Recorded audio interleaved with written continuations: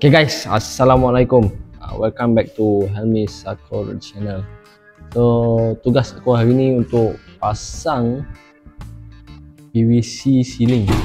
Uh, Dekat rumah parent aku lah. Rumah ni dah 12 tahun. Ya. Yeah. 10 tahun dah rumah ni siap. So, ceiling dia pakai ceiling plaster lama tu. Nampak? So dia ada kesan-kesan ya ceiling plaster kan. Tak tahu kesan apa dia hitam tiba-tiba. Tak ada bocor tak ada apa tapi dia hitam. So dia kotor-kotor macam ni kan. So ada ruang dia bukanlah semua kita nak tukar. Tapi kita ada uh, ruang untuk kita pasang lah uh, ruang menonton TV. Okay. Ha, ni kat sini. Ha, nampak? Tapi yang kat sini last time ada tempat kucing-kucing boleh naik atas ni so dia berak dia kencing atas tu jahanam buang tu. So area ni lah yang kita akan pasang uh, PVC ceiling.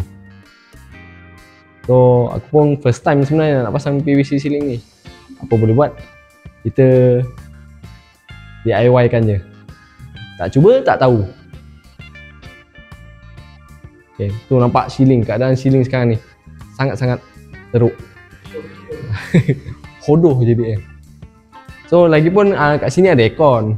So bila uh, ruang ni terbuka So kita rendahkan sikit ceiling lepas tu antara sini sini dengan ni ni dinding ni dengan belah sini kita akan letak partition lah sama ada sliding ataupun apa yang patut lah. So kalau nak tahu lah dekat sini ada sesuatu yang menarik Ha ni Ha, nampak tak? Ceiling plaster tengah ni. Tapi yang tepi-tepi ni semua pakai kayu pellet terpakai. Kayu pellet terpakai. Nampak tersusun. Ha, masuklah ruang dapur ni sama. Ha, ni ruang dapur. Ha, ni ada counter bar kayu kayu terpakai. Atas ni pun uh, counter bar menggunakan kayu-kayu terpakai, kayu pellet terpakai. So yang ini kita memang tak ada buat video apa-apa dah. Tak ada tak ada buat rakaman pun sewaktu pemasangan. Yang ini agak ambil masa yang lama lah sebab nak buka satu satu kayu pellet tu lepas tu nak kena buang paku, nak kena ketam. Ha, dan makan masa yang lama. Okay, jom kita pasang. Ah, tu anu ah yang tu semua memang kita DIY sendiri lah pasang semua. Ah, pasang sendiri. Semua pasang sendiri. Ah, ni tangga naik ke atas loteng. Ada macam bilik lah kat atas tu. Ada juga ruang lepak. Jom kita buat persediaan. Eh lupa. Apa barang yang kita nak kena pakai kan? Jom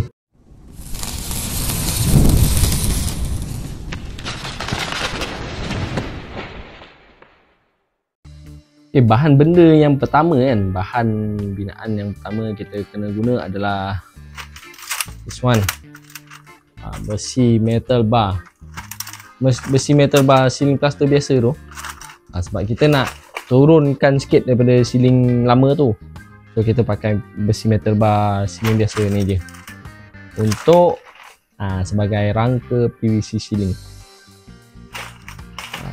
panjang metal bar ni 12 kaki. So yang keduanya kita memerlukan skru 1 inci. Ha, skru ceiling 1 inci dan juga paku konkrit kalau perlulah kalau kau nak nak senang tak nak susah-susah nak DIY tu nak nak melekatkan bracket ni dekat dinding kau pakai ni je. Pakai wall plug dengan wall plastik tu dengan skru so lebih senang dan lebih bukan tak ada cakap senang. Dia lebih kemas lah. Ha, macam saya lebih prefer pakai paku sebab lebih cepat. Ha, ok jom let's go. Kita pergi pasang. First kali kerja kita kena buat leveling dulu. Ha, okey. Tadi saya tak tunjukkan. Aku tak tunjuk pun kawasan ni macam mana. Ha, sebab banyak tadi bersepah. Ada baju kotor. Baju bukan baju kotor, baju nak lipat. Ha, so, sekarang ni inilah kawasannya. Ruangan untuk menonton TV. Tengok berapa kotornya ceiling tu. So, kita nak kena turunkan. So, kita kena clearkan ni barang-barang ni dulu sebab nanti confirm lah ada abuk kan. So kita nak turunkan mungkin dalam satu kaki daripada ceiling asal ni ha, Kita tak payah dah nak ukur timbang air bagai Nak main laser apa semua. Ha, Sebabnya Ceiling ni pun dah rata. Kita turunkan ukur sana turun Ukur sini turun. Pasang uh, plate metal bar. Settle Okay yang ni lupa nak reveal. Ha, Ni kayu pine Kita susun uh, Jadi partition. Ha, mantap kan? So dulu memang kita main kayu-kayu ni kan nampak. Itu pun custom. Ok kita turunkan. Turunkan. Ceiling ni kekal lah kat dalam. Cuma kita kena cabut kipas cabut lampu. Settle. Ok kita turunkan sekaki. Maknanya kita ukur situ satu. Ukur sini turun satu. Kita pasang plate besi. Okay, let's go. Okay guys, ah, okay kita dah ukur dah. Dah ukur, dah siap ni dah semua dah tanda dah. Semua dah settle dah tanda. So sekarang ni aku nak buat satu share satu benda ni. Aku guna pruning uh, pruning shears. Kata ni pruning. Kata untuk pruning untuk kebun. Tapi aku guna untuk potong-potong besi. Sangat-sangat heavy duty worker jenama worker ni jenama worker sangat-sangat heavy duty. Kalau kau tengok belakang ni memang dia cakap uh, pruning shears. Uh, high carbon uh, cutlery steel blade uh, strong and tough enough for heavy job. Hmm, memang kuat lah. Nak potong apa ni kau tengok potong ni. Potong ni selamba macam gunting biasa. So first Okey, dah lupa. So macam biasa kalau nak pasang bracket ni aku memang pakai paku je. Ni paku 1 inci. Memang pakai paku 1 inci. So aku dah tanda sana, ujung sana, ujung sini. So nak pasang ni seorang eh. Seorang-seorang nak pasang bracket ni sepanjang 12 kaki.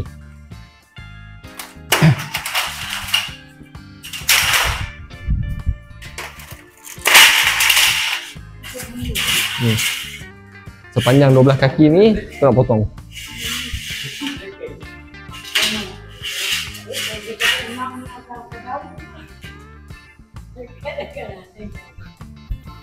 Sekejap kita ke belakangkan sikit.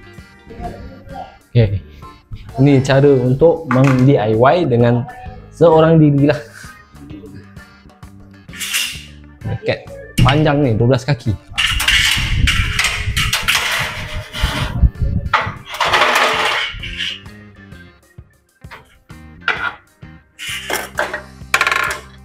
Kat ujung sana tu aku memang dah letak standby satu paku untuk dia tergantung seperti ini. Jadinya aku tinggal paku je. Tinggal paku je ni.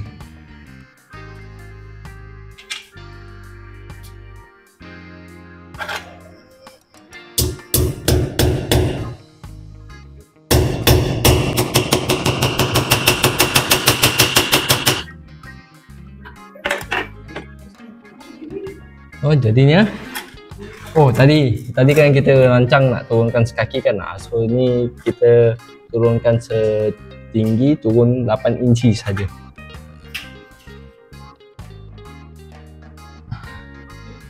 Kerja ni kalau dua orang lagi senang guys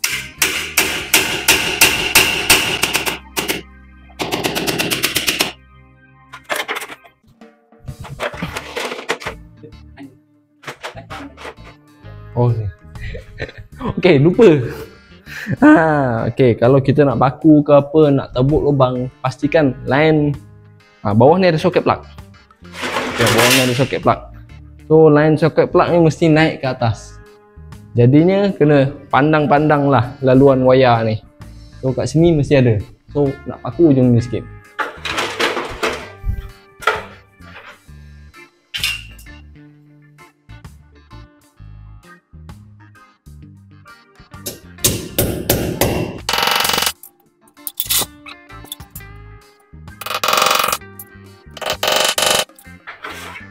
Tukul pun dah nazak.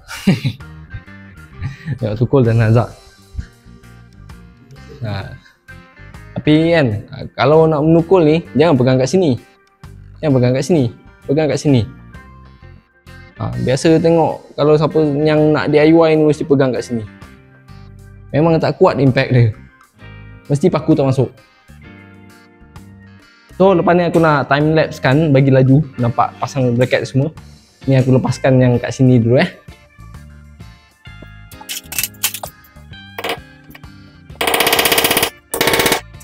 Okay, ini poin-poin yang aku tanda tadi. Turun 8 inci. Ha, ni bila aku dah siap paku. Paku. Belah atas kemek tak apa, bawah jangan kemek. Alhamdulillah. Kau nampak ni aku semua paku. Dalam dua kaki, dua kaki setengah lebih kurang paku tu. So bracket ni akan ada sini dan belah sana. Yang belah sini kita akan buat uh, melentang lah, meregak. So yang belah situ tu tak payah. Kita akan pakai lentang kat bawah je. Okay, let's go. Okay, ni metal start ni, metal metal bar. Kita guna cutter ni tadi je. Tengok macam mana dia potong. Selamba dia potong. Memang heavy. Lama dia potong. Kuat tak kuat?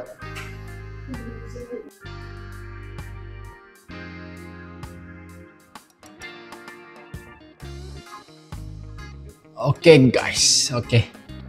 Uh, Kita dah start pasang uh, Ni bracket kiri kanan, kita dah pasang. So sekarang ni kita dalam proses pasang besi yang melintang ni. Lepas kita pasang besi melintang ni Penuh jarak dia antara uh, tu ujung satu betul ke sini dua kaki. Dua kaki dua kaki dua kaki. Ah uh, tengok keadaan sana macam sana kan. Dua kaki dua kaki. Sampai ke sini dua kaki. Lepas tu sampai ke sini 16 sebab dia ada corner kan. 16 lepas tu sampai ke sini sini ke sini 9 inci. Ah pandai-pandai lah kena pandai-pandai. Ah ikut keadaan semasa dekat site. So ini basic untuk rangka. Ceiling plaster pun macam ni juga sebenarnya. Ha. so sekarang ni kita pasang kiri kanan macam ni. Nanti kat tengah ni nanti ada tupang ni juga. Ha, topang ni dua kaki juga. Dua kaki dua kaki. Lepas tu dua kaki. Ada dia punya topang. Tiga batang. So inilah keadaan semasa dia. Nampak? Later on baru kita pasang dia punya topang ni So macam biasa saya sambung dengan time lapse.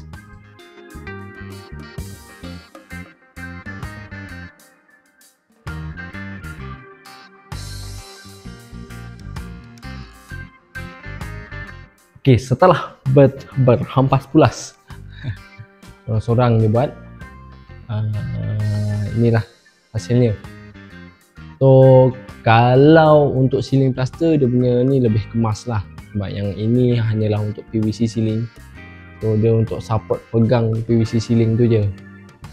Ha, janji kukuh. So yang ni kita tak kukuhkan lagi sebab dia punya tulang-tulang tu tak siap lagi. Yang ni tulang ni kan ha, tak, tak pasang lagi. Hanya satu tu je.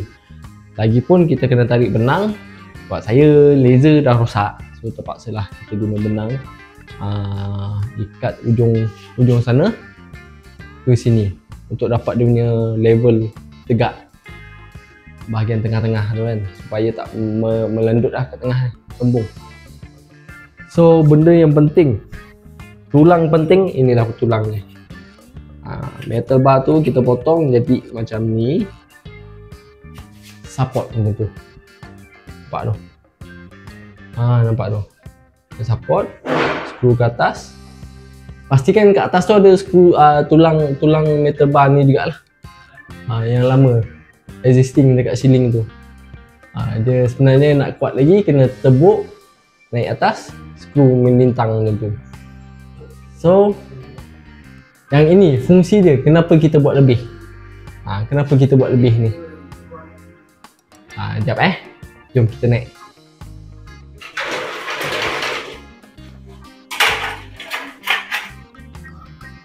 Okey. Misal kata kita dah tarik benang uh, line sana tu yang kat dinding tu ke sini ke dinding sini kan? Uh, dinding ni ataupun dinding ni lah sama lah sebab dia kiri kanan sama level so kita tarik benang yang tengah ni melendut ni. Ha, kau nampak tak? So bila kita dah ada benang tu kita boleh tarik lurus benang tu kita jack macam ni jack macam ni kita screw kat sini. Kita jack dah tegak kita screw. Ha, inilah fungsi bracket ni. Fungsi bracket ni. So kita sambung keesokan harinya lah. Ha, ini masa free baru kita buat. Sekarang ni semuanya dah settle semua uh, tulang-tulang untuk full uh, rangka ni semua dah settle. Ni lah tu sana uh, belah-belah sana semua dah ada lah. Dah semua dah ada. So belakang aku ni adalah uh, untuk gantung kipas. Korang nampak macam tak kuat tau. Nampak lah nampak macam tak kuat. Tapi kalau kau gantung ni kau gantung nak lapah nak lapah lembu selamba lah kuat gila ni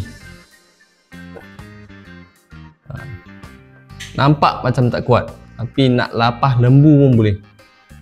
Ha, lapah gantung lembu lapah lembu tu pun boleh. So sekarang ni uh, kita leveling semua kita dah buat. Uh, leveling semua dah buat uh, kita tarik benang apa semua dah kalau ada laser lagi senang lah.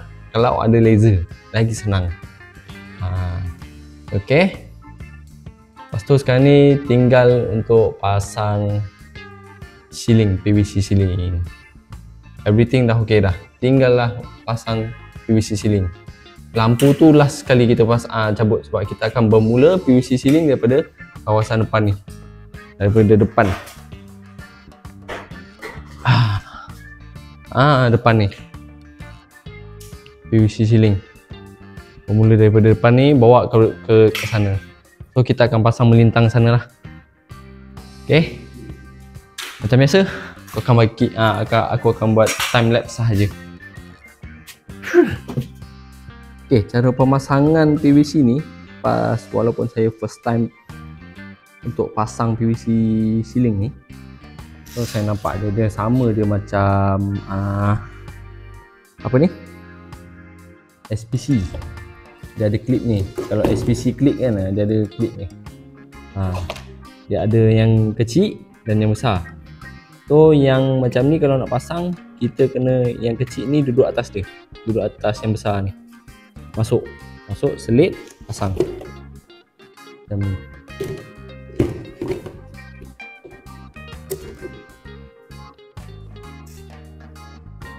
Nampak? Ha, tu. Macam tu lah. Masuk. Hmm. So kaedah dia lah. Kalau nak pasang tu memang kena skru kat sini lah. Atas. So skru tu tertutup. PVC ceiling ni kelebihannya Dengan PVC apa? Ceiling plaster. Kelebihan PVC ceiling ni Tak ada kotor lah. Dah tak ada kesan-kesan kotor. Dia tak perlu cat. Dah pasang cantik je. Just lap saja. Ah, okay, jom let's go kita pasang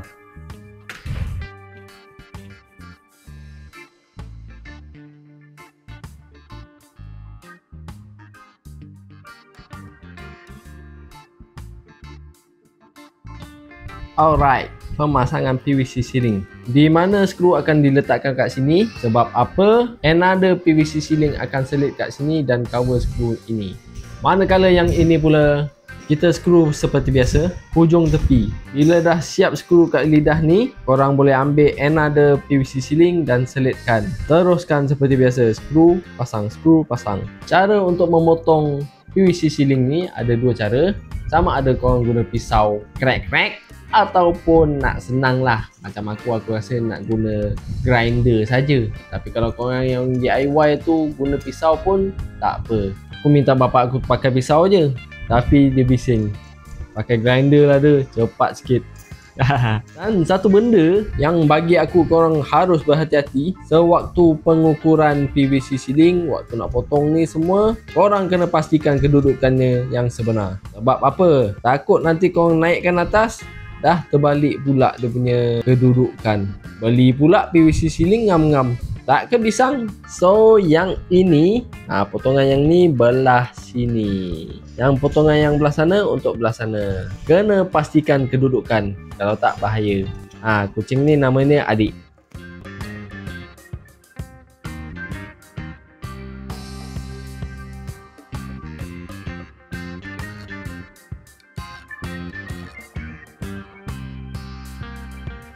Baik, walaupun aku first timer pasang PVC ceiling ni uh, So far so good. Sebab kita ada basic, boleh pasang. Bermula daripada depan ni, kita bawa ke balakong. Eh, bukan, belakang.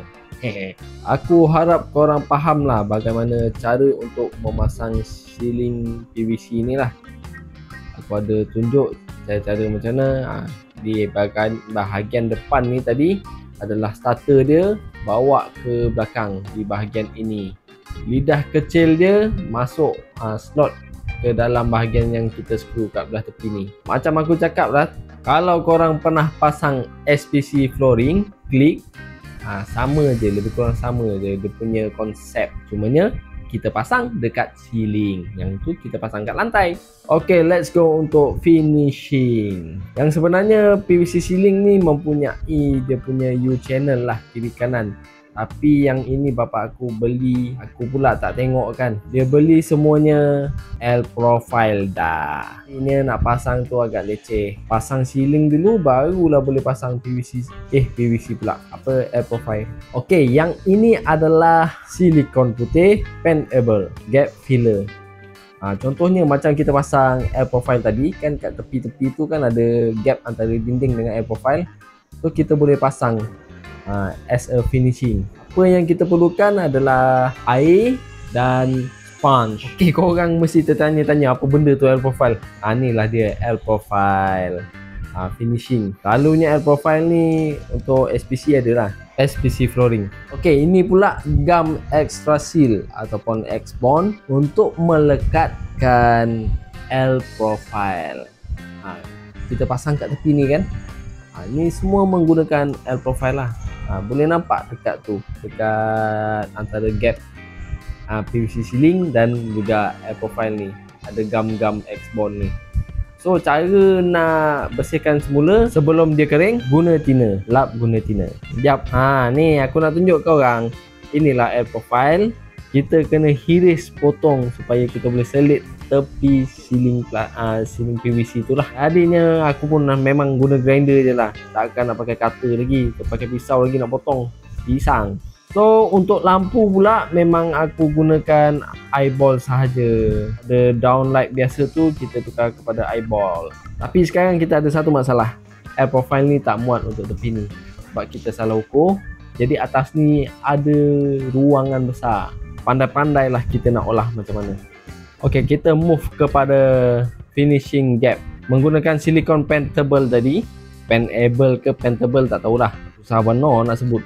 Poneng dan ha, bila kita dah sapu guna jari mestilah kita lap guna sponge dan juga air. Seperti ni.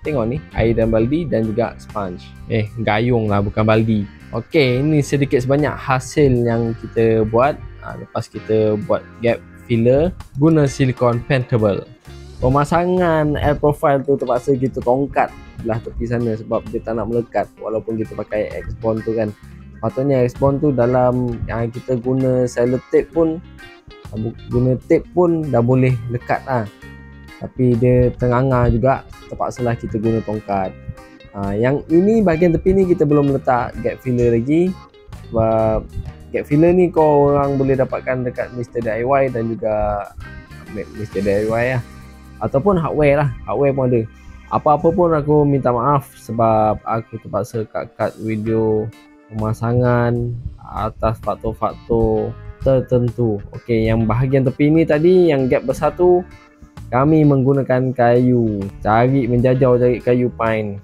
kayu pine pellet. Terima kasih kepada yang menonton vlog ini daripada awal sampai akhir. Cara pemasangan PVC ceiling. Ha, yang itu korang tengok ceiling plaster lama warna hitam. Dah tak ada lagi lah lepas ni. InsyaAllah kesan hitam. Inilah yang kita panggil inovasi. Manusia berevolusi. Sentiasa ada benda baru. Daripada ceiling plywood hinggalah ceiling plaster dan ke PVC ceiling manusia berevolusi. TV pun dah rosak terpaksa lah guna monitor PC tapi ada satu yang menjanggalkan. Ah, sebab apa? Kipas ni. Kena tukar lah kipas ni. Carilah yang smart sikit. Ini kipas biasa pakai. Regulator pula tu. Terima kasih kepada yang sudi menonton vlog ini daripada awal hingga akhir. Pemasangan PVC ceiling dan juga rangka-rangka lah. Uh, no hard feeling. Kita santai-santai. Minta maaf kalau ada kekurangan. Pada anda yang baru jumpa channel ini mohon subscribe like comment and share